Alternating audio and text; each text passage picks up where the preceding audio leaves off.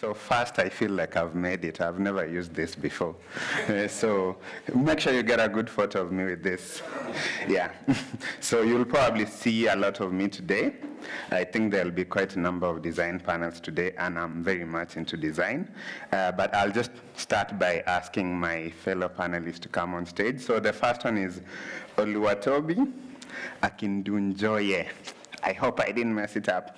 So he's a senior UX designer at eHealth Africa. Please welcome him to the stage. My second panelist is Sharon Wangari. She's an impact designer at Nairobi Design Institute. My third panelist is Mr. Charles Momanyi. He's the head of technology and innovation at Kocela. Uh, Kocela is one of our sponsors. And then last but not least, it's uh, Joy Kendi. She's a design thinker and scrum master at I, iHub Software Consulting. So she's actually part of my team. A bit of nepotism, but you'll forgive us. Okay. Thank you, thank you. So uh, we'll just start. So the way we'll go about it, uh, I know a lot of the people in the room are devs and designers, and I think a few people are actually into the design thinking space. So we'll just talk a bit more about why it matters, especially in the technology space, and then share a bit more about our experiences. And last but not least, uh, wrap up with why it's actually not picking up yet. Uh, we believe it's something that people should use. So uh, quickly, I'll allow each participant to introduce themselves uh, in 30 seconds, what you do, and yeah. So who wants to go first? Momanyi. Uh, good morning. Um, I head uh, the technology and innovation at Kocela. So what we do, we do payments, and we also do apps for financial institutions and uh, and microfinance uh, and SACCOs. Yeah. Hey everyone, my name is Sharon. Um, I am a designer, as Kirui mentioned, with Nairobi Design Institute, and what I do there is I lead the projects on the client side and on the fellow side. For anyone who doesn't know NDI, um, it is a design school that teaches full stack design. Oh, there's full stack design. It's a term we just call Good morning, everyone. Good one. My name is Toby. I'm a user experience designer at eHealth Africa. Um, eHealth Africa is an organization that actually builds health systems. So we use data-driven solutions to respond to local needs of um, remote communities. So we build health systems that actually track vaccine delivery, reduce diseases and stuff like that. Uh, my name is Joy Kendi. I'm a design thinker and agile project manager at iHub Software Consulting. And we are a design-led company that is offering premium software design and development solutions to clients across Africa. Okay, uh, so as not to make it too serious and too formal, in addition to introducing yourself, can you just tell us one thing we don't know about you, but that's not related to work? Yeah. Joy, you can go first now that you have the mic. Not related to work. Yes. Uh, with the mic, like probably. I, I have to think about that. Um, so something interesting about me, I was planning DevCraft. Oh. okay. Okay, I love swimming a lot. I am one of the biggest Batman fans out there. And, Oh, sorry. Uh, I'm a swimmer. and no, that's cheating. You already said it. No, say something else. No, I also it- like uh, hiking. really? Yes. Okay, he's lying. I know him. He's never hiked in his life. okay, okay, cool. That's okay then. So uh, probably the next question would be, uh, I think many designers, people think of us as sticky warriors. Like, I, and I think it's also our fault. A lot of the photos that we share and the things that we talk a lot about involve using a lot of stickies and um, uh, wearing like bright clothes. But what is it actually about? like what did you say what, what is design thinking and why does it matter so i'll probably direct this question to sharon and Oluwatobi. yeah Okay, so basically, um, design thinking is just a user-centered approach to actually solving problems. So what that means is uh, you're trying to solve a problem, but then you're going to consider three basic things. The first thing is, uh, is this desirable to the user? The second thing is, is this a viable business opportunity? And the third thing is, is it technically feasible? So at the intersection of these three different considerations is where design thinking falls in. So it's more of a mindset actually, whereby you're trying to build something that is viable, that can sell, because that's the only way you can actually have a sustainable business to go on with it, that is technically feasible, because that's the only way engineers can get to build it, and then that is desirable to the users, because that's the only way you can actually get customer loyalty, retention, and stuff like that. So that is what design thinking is to me. So I'm of a similar opinion. I think just to add on what he just said, um, one of the things that design thinking or design in general needs to do is it needs to work in synergy with all the other processes in your company. So not thinking of design thinking as just a separate item or something that you outsource, but seeing how let's look at the tech aspect, the business development aspect, and then let's look at design and how all those things could work together to create value for your user, um, that's your customer, and for the company. Okay, cool. Uh, maybe something that I didn't mention before the panel commenced. Uh, so Charles is not, I would say, a practicing design thinker. Okay, not that he is not a very bright guy, that's not the point. Uh, uh compared to the rest of the panel, I think uh, all the other guys have actually gone through the process of like learning about it by doing a course or something, but uh, probably Charles comes a bit more from the school of hard knocks in like learning the design process or like how to build products that people actually use. So what would you, what would be your perspective of design and building products in general? Yeah, so um, actually I think of it differently. Okay. And uh, design thinking does not only apply mm. in the tech industry. It goes beyond that, and it's generally how you approach solving problems. So first of all, it needs to make sense to the guys you're targeting. Mm. And from the products that we've done, we've actually seen that it really goes a long way, and it ensures you're actually solving the user's problem. So first of all, you need to engage them, find out how they want it to be done.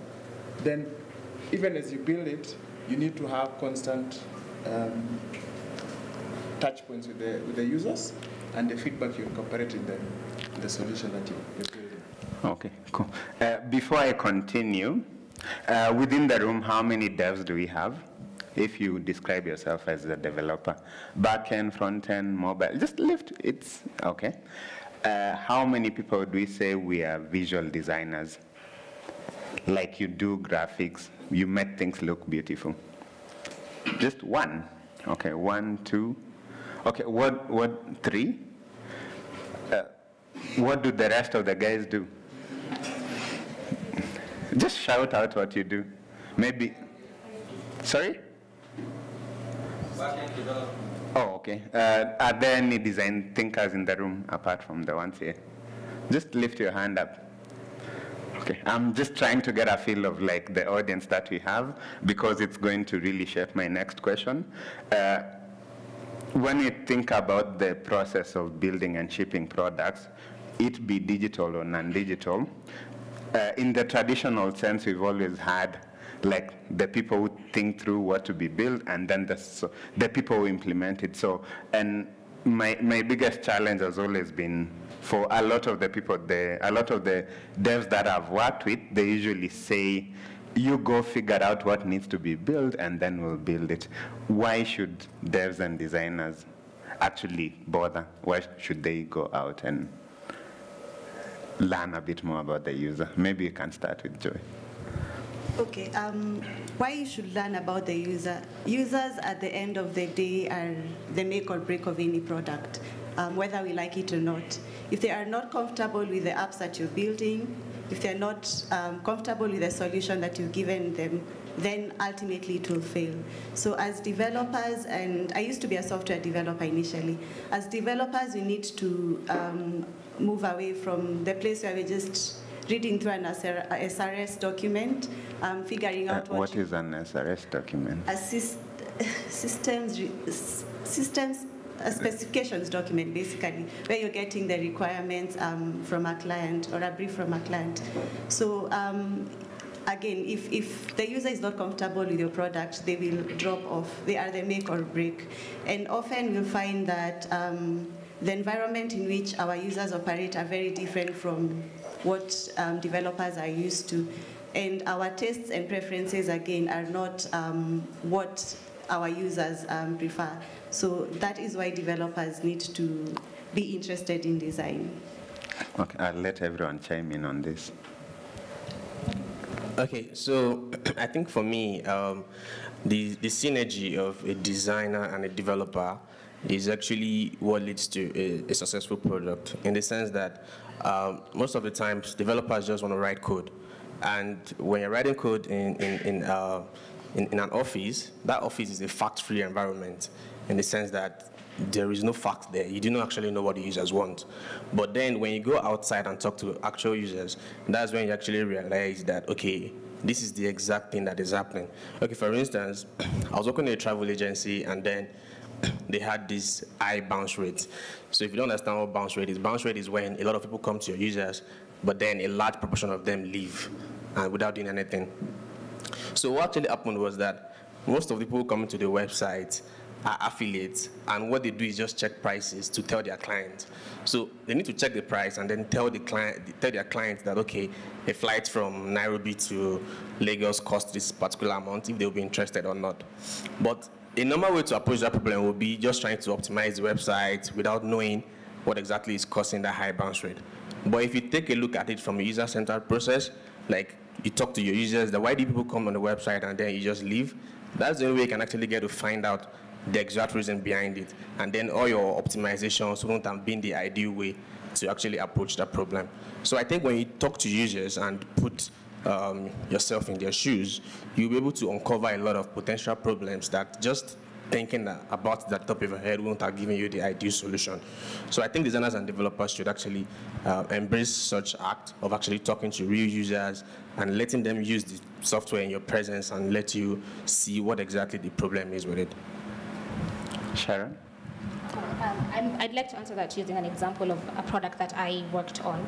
Uh, but first of all, it's so important because it allows you to like really boil down into the very nitty gritty needs that your users have and then design around those needs so that the uptake of your product is increased and like also the retention, people continuously use your product.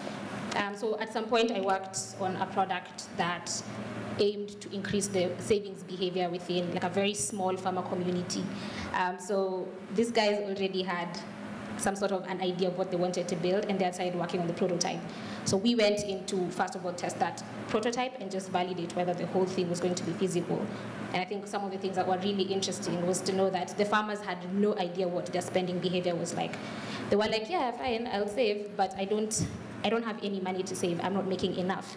Um, and so for us, we had to take a step back and try and see, okay, so how do you allow them to understand what their spending behavior is, what their earning patterns are? Because I think if any of you has interacted with farmers, it's a very volatile industry and just the patterns in which you earn cash and the rate at which you're spending are very different, which means you are prone to high debt um, if you're not careful with the way you're spending your cash. Um, so one, one of the things that we were able to do was, oh, so that's how you hold it.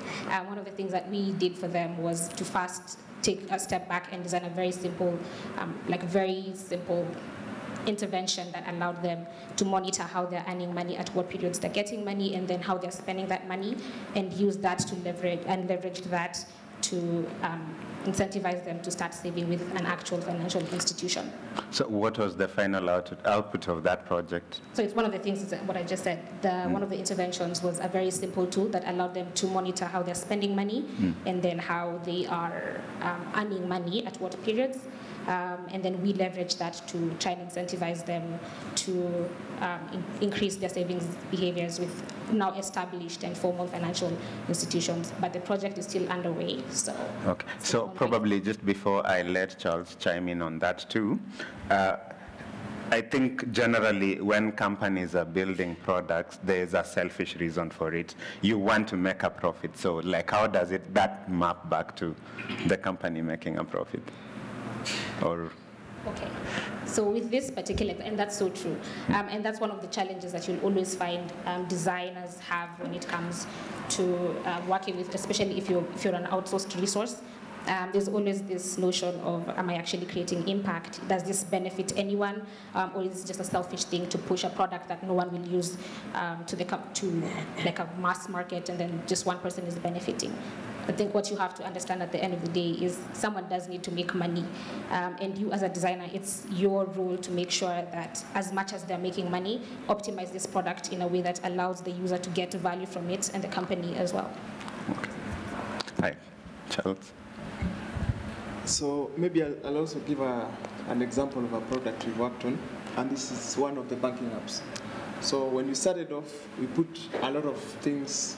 There's a reason why everything is where it is on an app. So you'd want everything to be there and it looks cool, but you realize you've done, you've developed the app for yourself. So the traction on the market is yes, this is cool, but users' transactions are not increasing. Mm.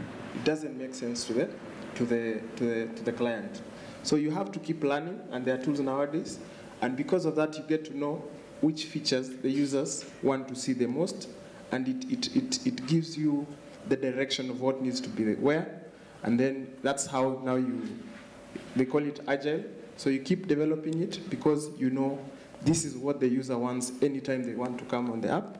So there's, there's a, the, when you started, we had things like news, forex, mm. it, everything was there. Did anyone read that? Those? There were guys who were accessing it, mm. actually, mm. guys who are not customers of that client. Mm. But over time, because of the feedback, guys were getting, it was too cumbersome for them to get to what they really came to the app to do. Their money. Yes, to check their balance or statement and all that. So, um, and it has driven us, even in how we do our products, we've changed. So first of all, before we start uh, developing, and I think that's where the synergy needs to grow between the, the designers and the developers. So you need to really know why you're doing it, yeah? And you're not doing it for yourself. You might like it, but it's not a solution for techies. It's for users out there. Okay, fair yeah. point. Okay, I think I skipped something. What's the design process itself? Because I think uh, when each of you were talking, you touched on very many different elements of it. You've talked about the dev team, you've talked about the custom. What's the design process and how do you actually go about it? Uh, I'll let the other half of the panel answer that. Okay, um, design thinking is a very iterative process, and um, the way it begins, although it never really ends, is by empathizing with the user. That means um, getting to know who your user is, what do they think, what do they feel, um, why do they need your help, if at all they need your help, and understanding um, the problem from the lens of the user then helps you build um, useful products. And so as a first stage of empathizing, um, usually the design process then tends to go into defining the problem and then now um, ideating. And by ideating, you just generate a couple of ideas um, based on the challenges the user is facing, and then you begin to prototype um, on those ideas. And again, that's an agile process, as um, Charles mentioned. So you come up with a prototype that could potentially help your user, go to the field, test it out, um, validate it. If it works, then um, you can go on to implement. Um, but there are times um, you'll find that your prototype does not meet the user's needs, and then again you need to um, iterate over your ideas. Uh, maybe, let me slightly tweak the question for you. Uh, from how Joy is talking about it, it sounds expensive is it expensive and how do you actually deal with the fact that many people, for example, and this is also from my experience running a consultancy company, uh, you suggest to someone that uh, you have a TOR, but we don't think what you want build will actually work. Why don't we do research first before we, how do you actually deal with the fact that it's perceived to be expensive and takes a long time. Yet, uh, as a dev team, we could just sit for four weeks and have a product out there? Okay, to me, I think it's actually expensive not to do user research because on the long run, you, you might build something that users don't necessarily need.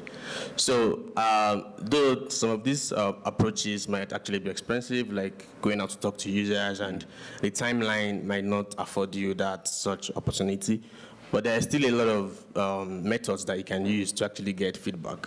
So for instance, if you are building uh, a savings app, for instance, and um, you necessarily don't have that bandwidth or time to go talk to users, you can just check for similar apps on Play Store and check reviews that people already list on the current um, apps in the in the Play Store.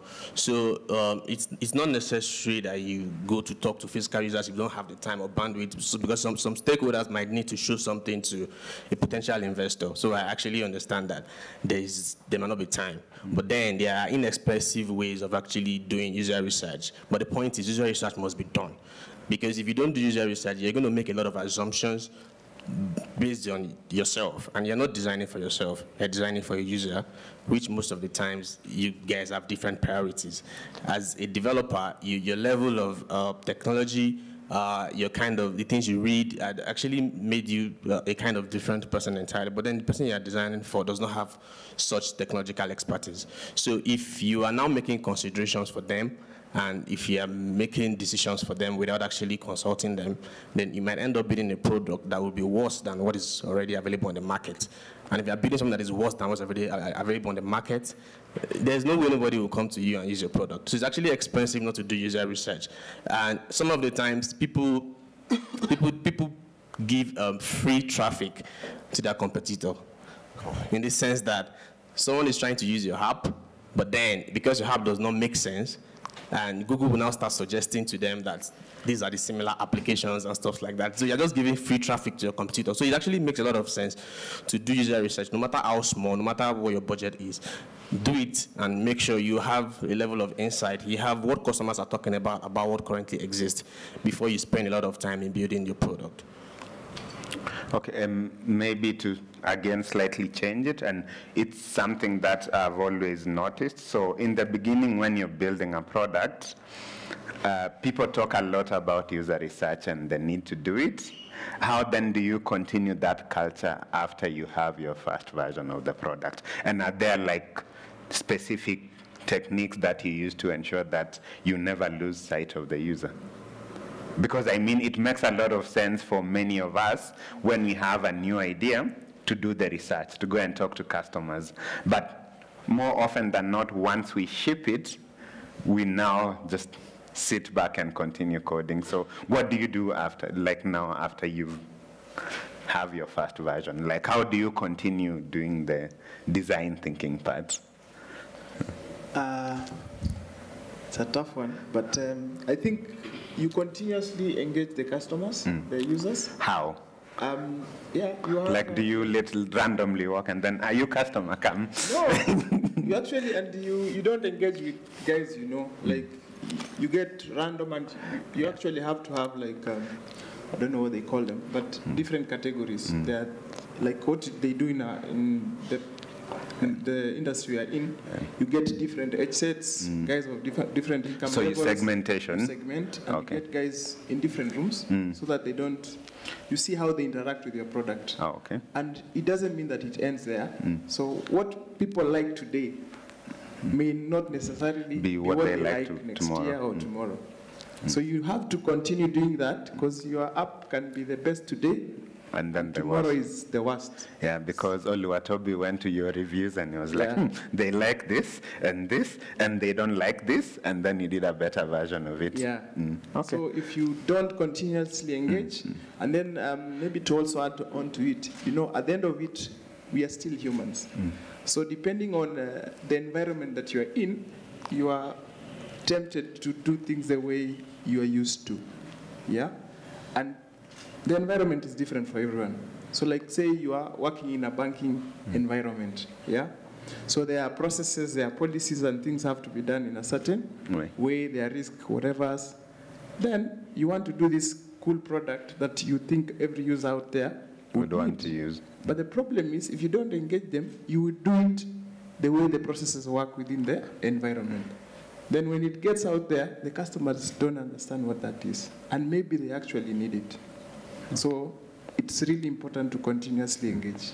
Okay, uh, before Sharon chimes in on that, uh, there's something interesting that Momanyi talked about, uh, not testing with people that you know, and I totally agree with it. Uh, have you ever wondered how people get the confidence to go to a singing show and yet they can't sing? Have you ever wondered why? So it's their friends. They keep telling them, wow, you can sing well. and then you end up on TV and you can sing. So, Sharon? So I haven't gotten a chance to work like on a long-term product. I'm always more on the getting it to a development phase and then um, handing it over back to the clients. But one of the things that I've observed most people do, and it's a really effective way of continuously monitoring what um, your users are doing, is just go on these basic platforms where they are. Do they use Facebook? Do they use Twitter? Do they are they on um, Instagram? What are the new trends? What are people saying? You can infer a lot from the kind of things that people enjoy doing and where they hang out and things like that, and then use that kind of data to pivot your product or to just add a new feature or to remove something that doesn't really work for your market segment. Okay, uh, cool. We'll just continue the same vein, but in a slightly different way.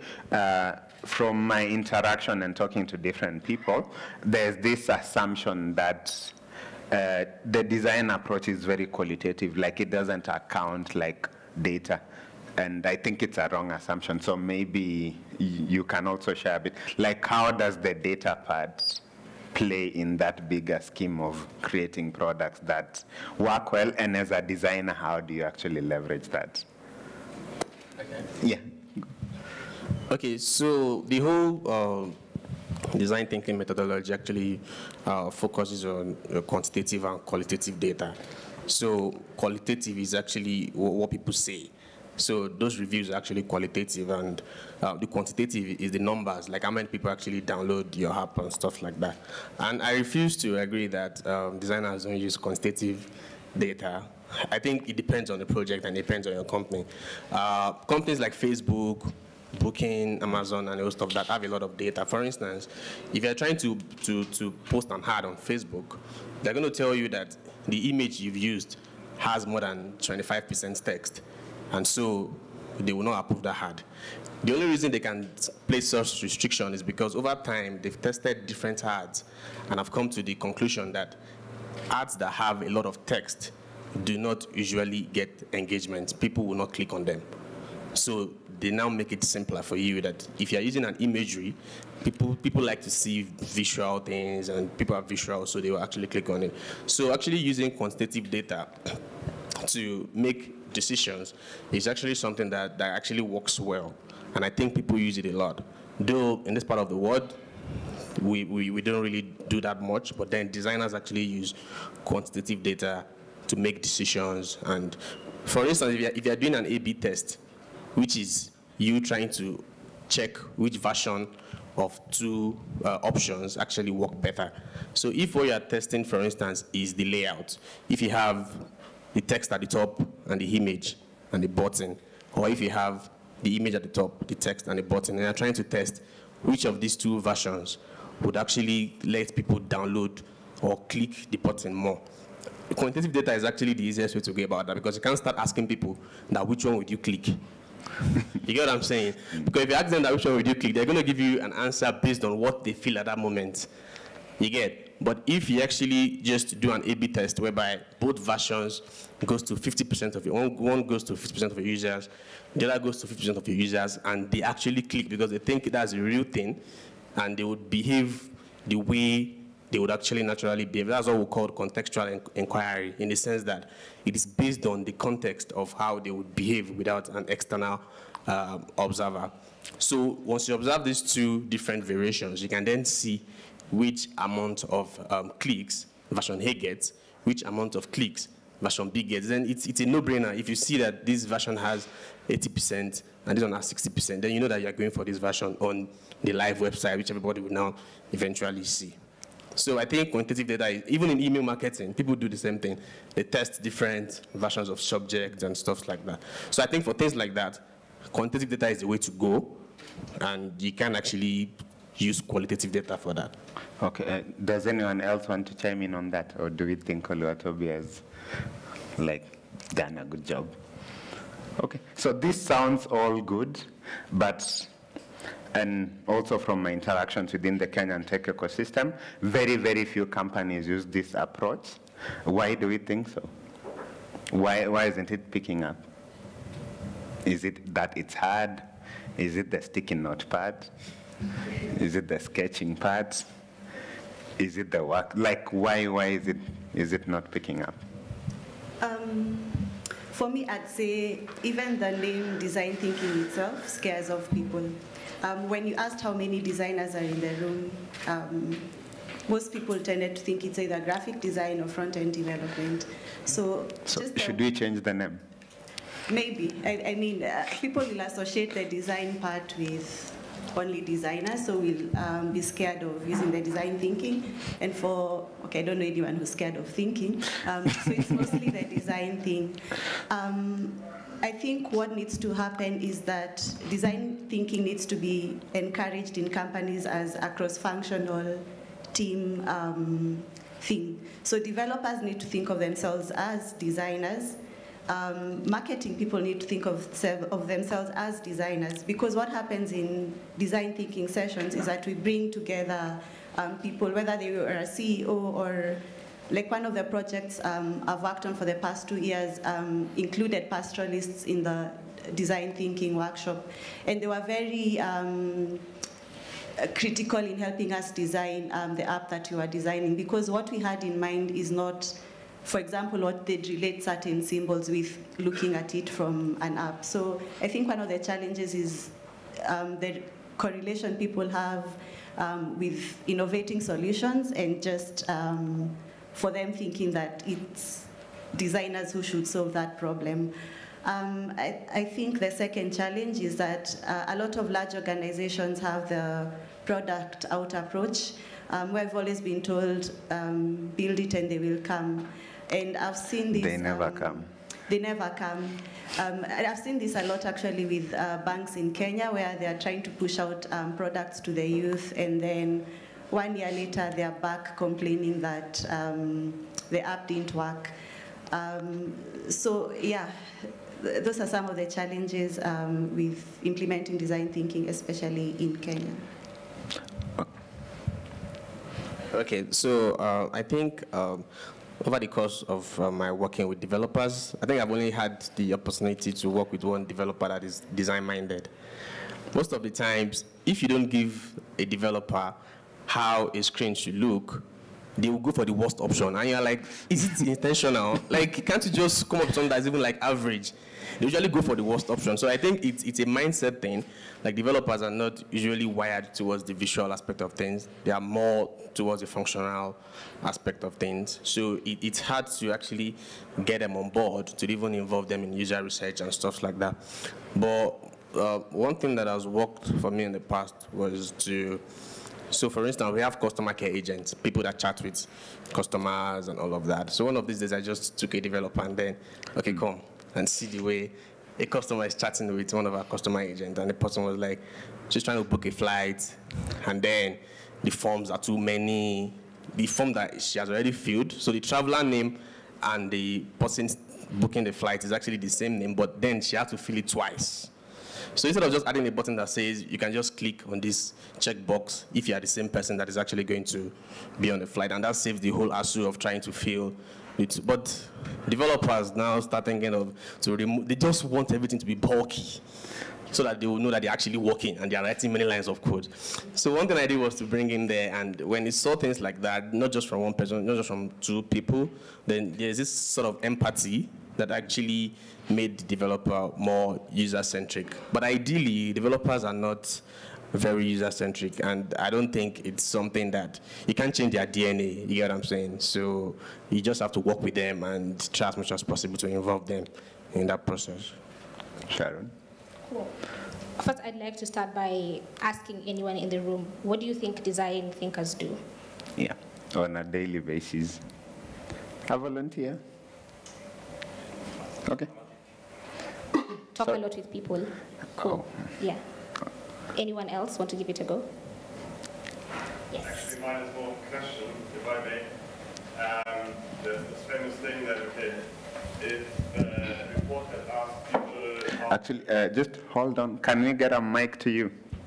Okay. Murigi? Thanks.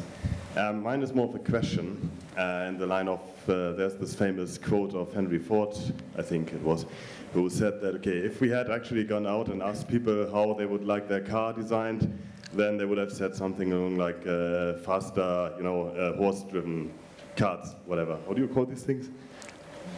They would have wanted faster Yeah. horses. Faster horses, basically. So how does this uh, fit together with the very going out and asking people how to do stuff approach? Okay. Um, actually, before you continue, there's an interesting thing that Kenyans do. Uh, when you ask someone, how's life, how's business, what do they say? Fine. Do they ever say, like, by then now it's really, really bad? Did they ever say that? Okay, Sharon. You can answer that and continue. Okay, um, I think, answer that? Okay. Um, I'm, I'm going to pause on that question for a second, and then we, I think we'll all come back to it at some point. Yeah. Um, but the reason why I ask that is because, like Joy said, design thinking or design thinkers are seen to be like something that's completely outside the norm. But like in the context of asking people questions, asking people, so what do you, um, how, what are what are your spending habits, or how do you prioritize um, your household items or whatever? What is stopping you as a business developer or a market person or even a scientist from doing those things? There's absolutely nothing that's stopping you from doing that as a person who's in a completely different industry. And I think it's something that we continuously do. You're just not aware that you're doing these things. Um, I feel like I stood away from the question. But like in the same line of thought, um, I think the reason why design as a practice has been has had a really slow uptake within especially local businesses in Kenya is because it's seen as an outside resource. You sit at a table with your business developers and your market people, um, and then you decide, okay, so we need to design a website. Let's get someone to do that. And then only looking at design as this very linear item, like it's just to do the visuals, not seeing design as a wholesome, um, really unit that is in, like very essential for every part of the design of every single process within your company. And to that, to like the same point, um, this really boils down to the need of having designers being invited to the table to strategize around product strategies and how do we, how do we like you know create the next iteration? How do we pivot our product? Which just is currently not happening in the Kenyan market. Okay, uh, we'll circle back to that question, uh, but maybe for Charles, especially having worked, uh, he's actually worked a lot. And anytime he goes on leave, he doesn't go back to the old company. So if you ever work with him, don't give him leave.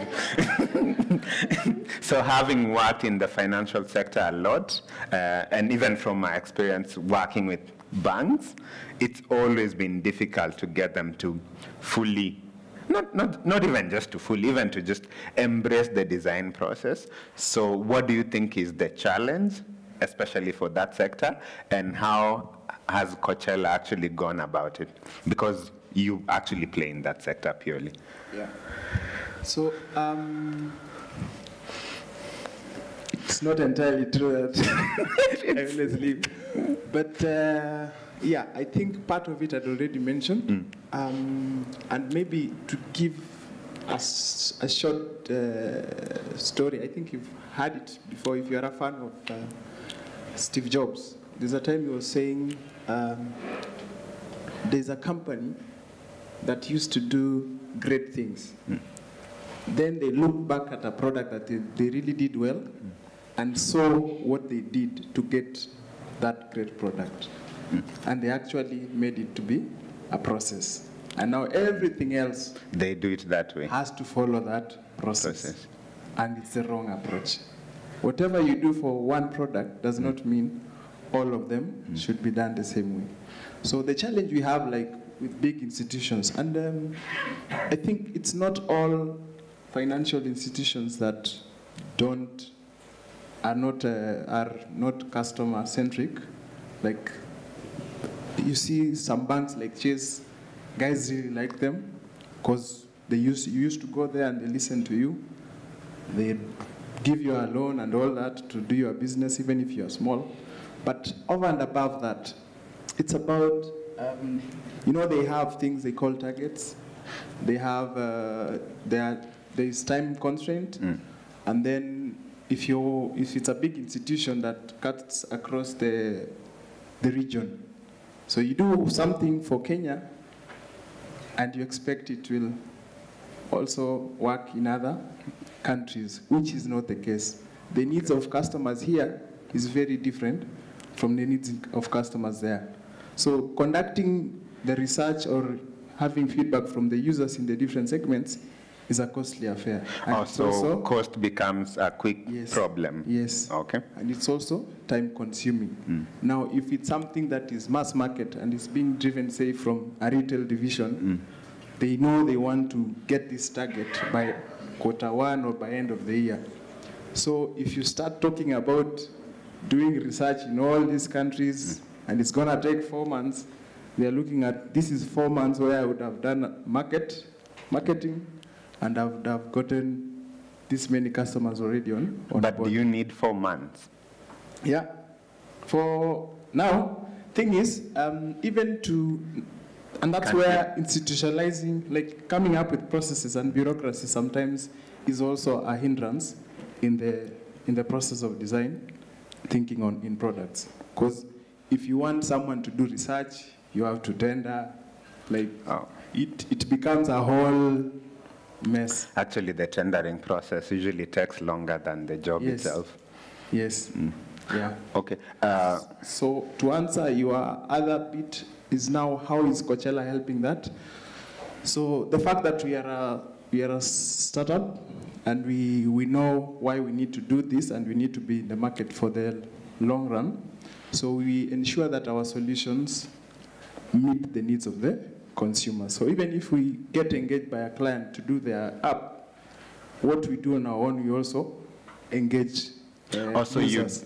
d- So, but do you include that, for example, in your proposal as a budget line, or is it something that you do like unajitolea, like it's, it's part throw away of money? what we do. Okay. So we might not uh, put it in the proposal, but it, it will be. Mm. it's for. factored into the other. Yes. Okay. Because uh, trying to explain it to guys who've not done it before becomes a challenge. So you just lie to them. no, we don't lie. You just tell them this is how you're going to do it, but you tell them things they understand. Oh, okay. So the other challenge is um, some people might actually be doing it, only that they don't know it's called Design, design thinking. thinking. Oh, okay. Yeah.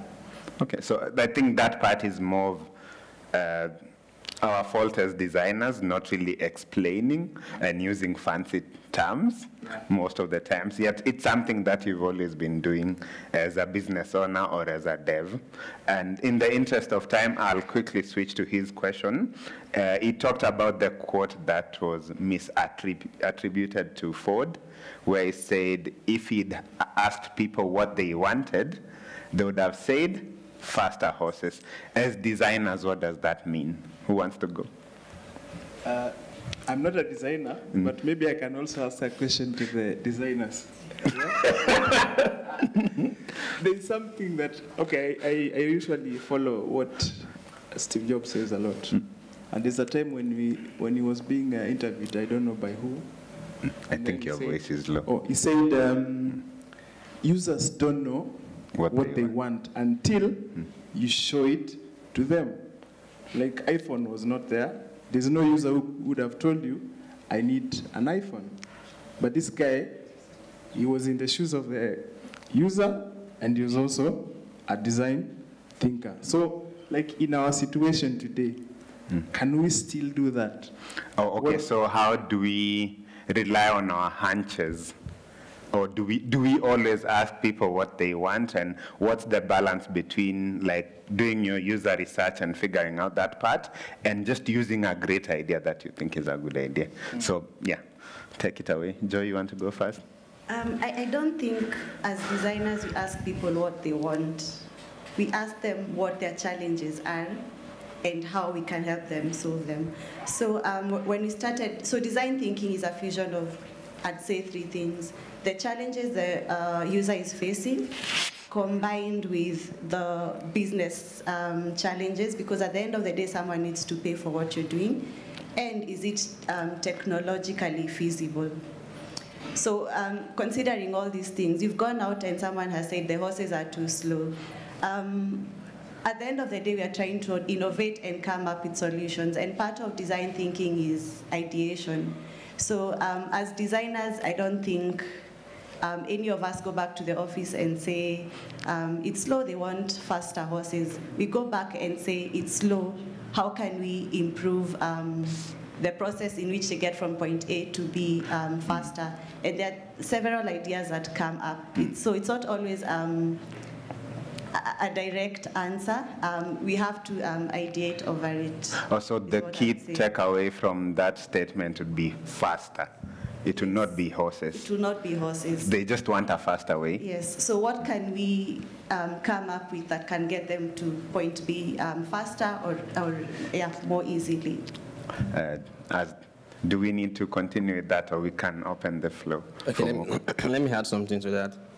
So uh, I, I think another, another thing is when you ask a user what he or she wants, uh, the answer will be limited to his or her knowledge of technical possibilities.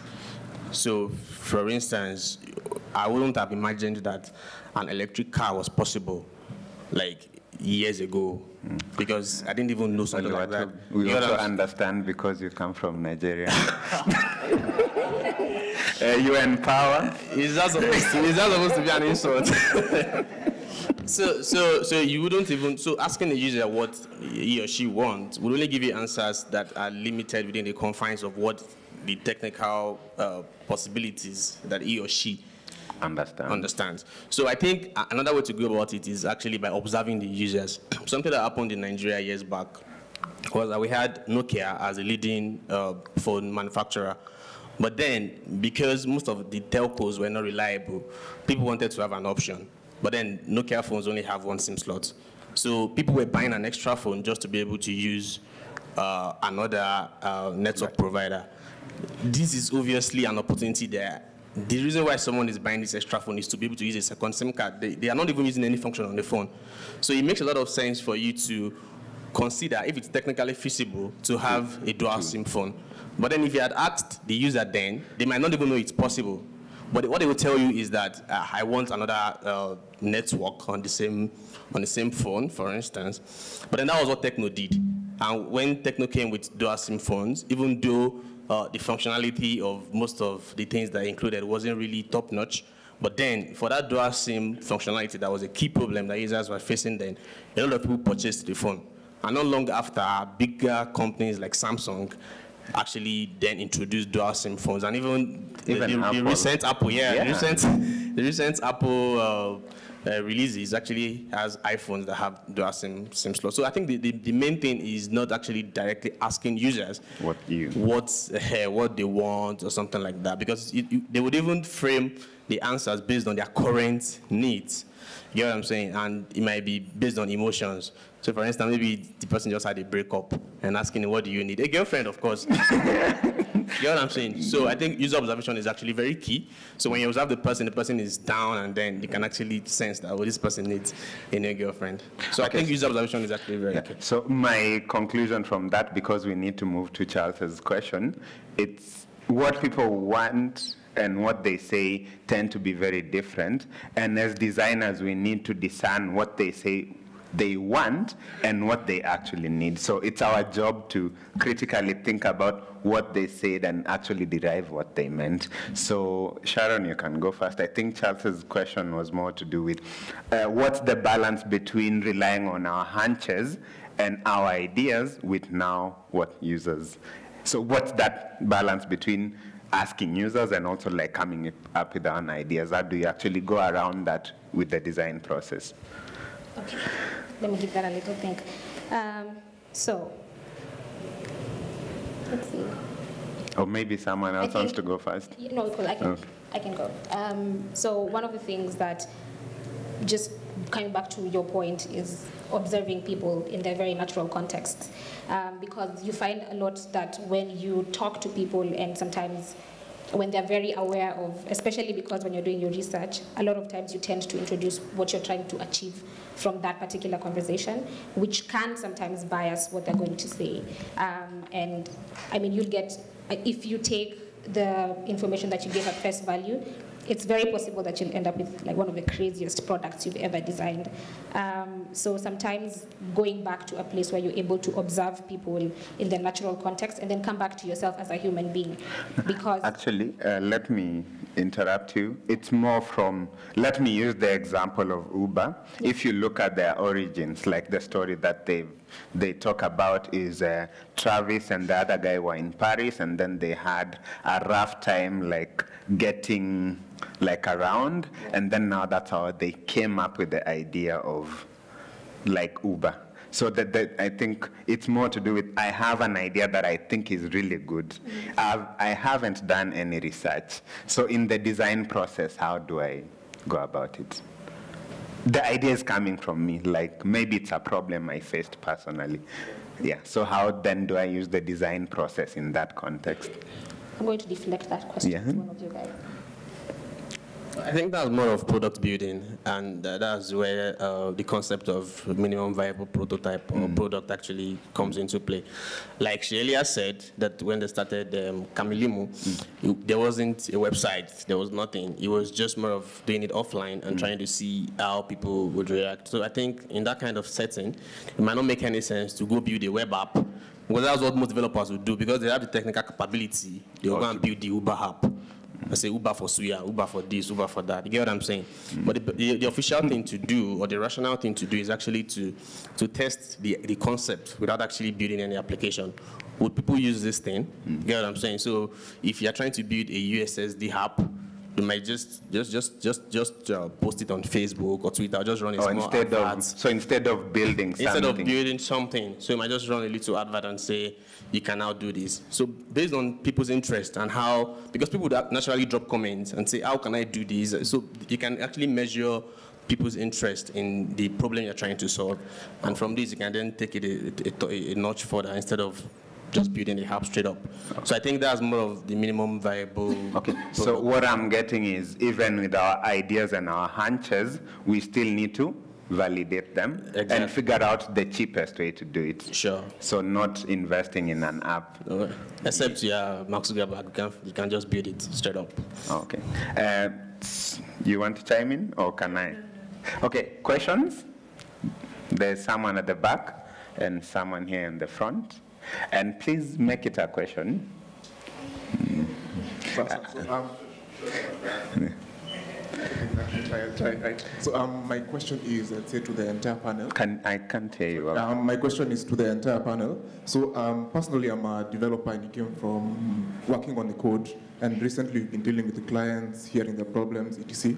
So we've been, I've, I've had issues trying to communicate and come up with say, a bridge between what the client wants and how we can develop it. So how have you handled that across the different projects you've worked on? How have you developed the feature list that in such a way that both the client and your devs can understand?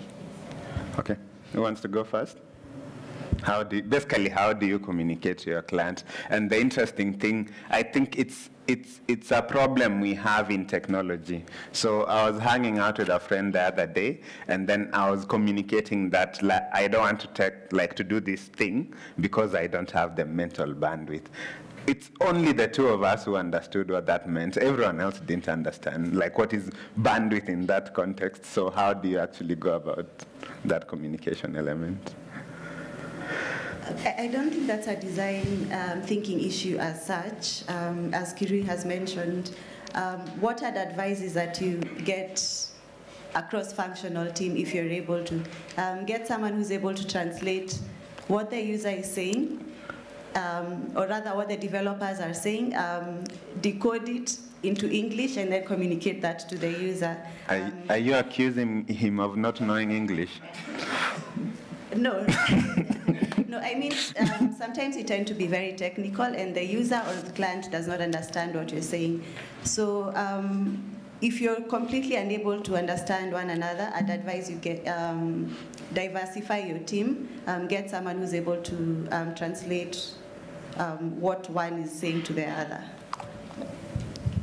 Okay, I, I think. Hello?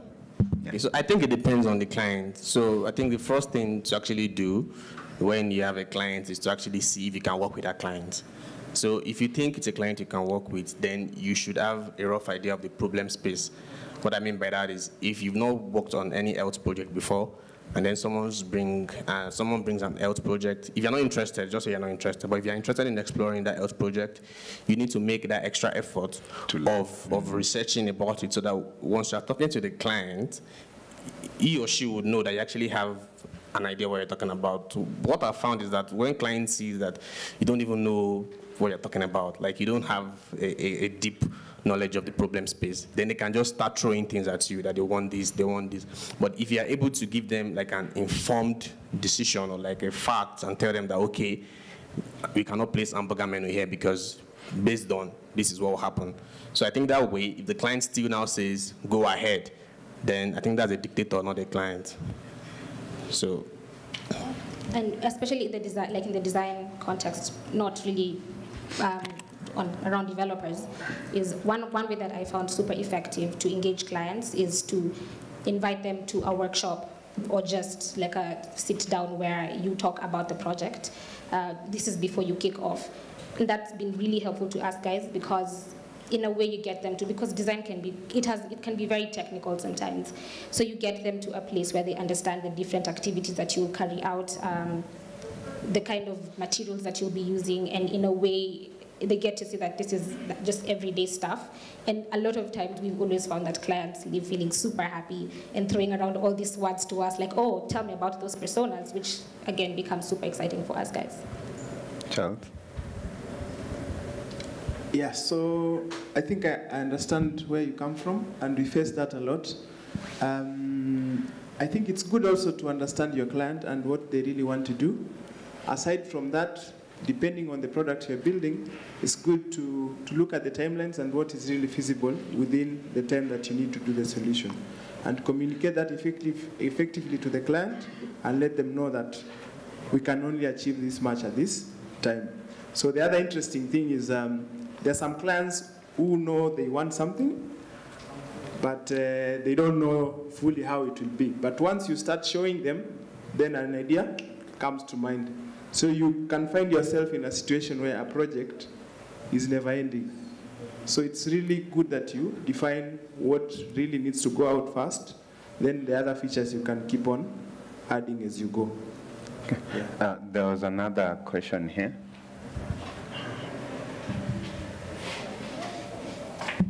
Oh, hi everyone. I'm George Olak.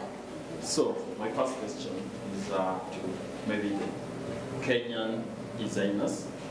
What we tend to have is uh, design thinking. At what point do we get to, okay, now this is what we collected from the film. Now we need to turn these ideas into something that can be presented to the developers.